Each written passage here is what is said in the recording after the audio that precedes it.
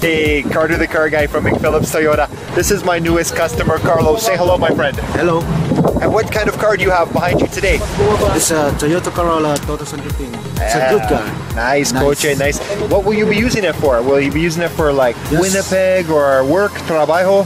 Work trabajo, of course, uh, hardworking man for my family. And I wish that car for my trabajo. For your trabajo, for his work. Work. How was your experience with McPhillips Toyota? Toyota McPhillips, I said, uh, it's a good, uh, excellent reception.